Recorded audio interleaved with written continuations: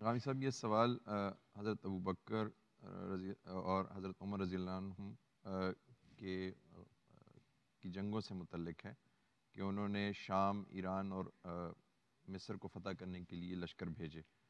تو کیا کوئی قرآن آیات ہیں جو اس طرح کی چیزوں کو، کی اجازت دیتی ہیں؟ یہ کوئی فتح کرنے کے لیے لشکر نہیں بھیجے گئے۔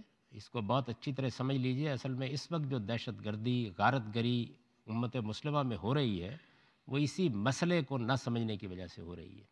میں نے ابھی ایک سوال کے جواب میں ابتدا میں یہ بتایا تھا آپ کو کہ جب خدا کا کوئی پیغمبر آتا ہے، جب خدا اپنا رسول زمین پر بھیجتا ہے، تو وہ اپنی قوم کو یا جن لوگوں کو اللہ اسے کہتا ہے، ان کو خدا کا پیغام پہنچاتا ہے۔ خدا کا رسول سائل کی درخواست لے کے نہیں آتا، وہ خدا کا نمائندہ اور سفیر ہوتا ہے۔ وہ آ کر جب خدا کا پیغام پہنچا دیتا ہے حق ہر لحاظ سے واضح ہو جاتا ہے، تو اس کے بعد اللہ تعالیٰ جزا و سزا دیتے ہیں اسی دنیا میں۔ اور اس طرح قیامت کی جزا و سزا کا ایک چھوٹا سا نمونہ دکھا دیتے ہیں۔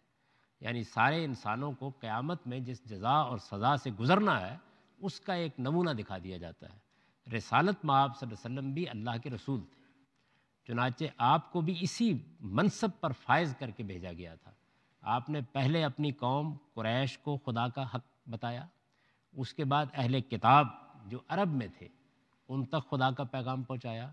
اس کے بعد اپنے دنیا سے رخصت ہونے سے چار سال پہلے اپنے گرد و پیش کی آٹھ بڑی مملکتوں کو یہ پیغام پہنچا دیا، جس میں دو بڑی مملکتیں اس وقت کی سپر پاورز تھیں۔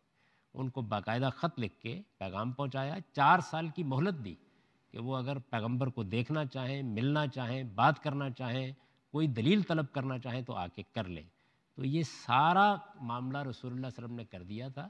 اس کے بعد جب لوگ انکار کرتے ہیں تو اس کی سزا مقرر کر دی گئی ہے۔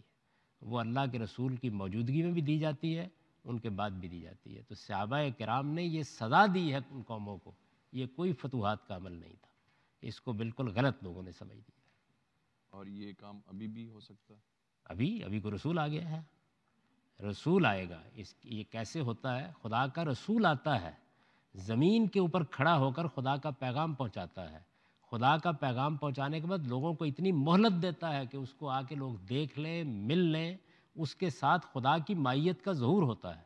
انسان خدا کو ایک زندہ وجود کی حیثیت سے اس کے ساتھ دیکھتے ہیں۔ اس کے بعد یہ سزا دی جاتی ہے۔ یہی تو میں نے واضح کرنے کی کوشش کی ہے کہ یہ رسولوں کے معاملے میں خدا کا ایک قانون ہے، جس کا ظہور ہوا ہے۔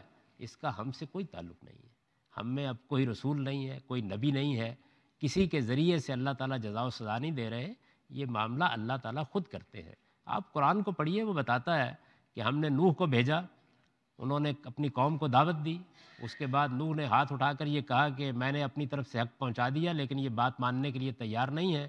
ہم نے کہا کہ بہت اچھی بات ہے، آپ کشتی بنائیے اور اپنے ماننے والوں کو اس میں سوار کر لیجیے، ہم ان کو ڈبو دیں گے۔ تو یہ عذاب ہے خدا کا صرف لوگوں کو غلط فہمی یہ ہوئی ہے کہ یہ عذاب پہلے فرشتوں کے ذریعے سے آتا تھا، رسول اللہ علیہ وسلم کے زمانے میں یہ صحابہ کرام کے ذریعے سے۔ اس کو قرآن نے بیان کیا ہے کہ یعذب و اللہ بیادی کم تو انہوں نے اللہ تعالیٰ کی نافذ کردہ سزا لوگوں کو دی ہے۔ اس سزا کو بھی قرآن نے سورہ توبہ میں بیان کر دیا ہے۔ کبھی توفیق ہو قرآن پڑھنے کی تو سورہ توبہ پڑھیے۔ آپ کو معلوم ہے کہ قرآن کی ایک سو چودہ صورتیں ہیں۔ ان میں سے ایک سو تیرہ صورتیں بسم اللہ الرحمن الرحیم سے شروع ہوتی ہیں۔ سورہ توبہ عذاب کی سورہ ہے، اس لیے اس پر بسم اللہ الرحمن الرحیم نہیں لکھی جاتی۔ اس میں اس عذاب کا اعلان کیا گیا ہے کہ مشرقین عرب ان کے لیے موت کی سزا ہے اور یہ باقی دنیا کے جو لوگ تھے اس زمانے میں، رسول اللہ کے زمانے میں، جن تک آپ نے پیغام پہنچایا، ان کے بارے میں یہ بتایا گیا ہے کہ ان کے لیے محکومی کی سزا ہے۔ تو صحابہ کرام نے اس سزا کا نفاذ کیا ہے، انہوں نے کوئی ملک فتح نہیں کی اور یہ جو واقعہ ہوا، یہ رسول اللہ کی رسالت اور نبوت اور خدا کے آپ کے ساتھ ہونے کی دلیل ہے۔ تو اس لیے اس کو اس زاویے سے دیکھنا چاہیے۔ آپ چاہیں تو اس کی بہت تفصیلات میں نے اپنی کتابوں میں کر دی ہیں، اپنی تقریروں میں کر دی ہیں، اپنے لیکچرز میں کر دی ہیں۔ یہی وہ غلط فہمی ہے جس کی وجہ سے لوگ قرآن مجید کے وہ مقامات پڑھتے ہیں جن میں ان لوگوں کے بارے میں اللہ کی سزا کا ذکر ہوا ہے اور وہ کام کرنے کے لیے خود اٹھ کھڑے ہوتے ہیں۔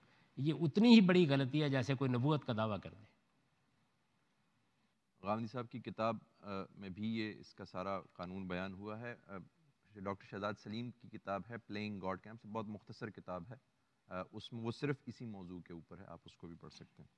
تو میں نے اس پر بہت سا کام کر کے اس کی بڑی تفصیل کر دی ہے۔ میری کتاب میزان میں جگہ جگہ اس میں جہاد کا آپ چیپٹر نکالیے تو اس میں پوری تفصیل کر دی ہے میں نے۔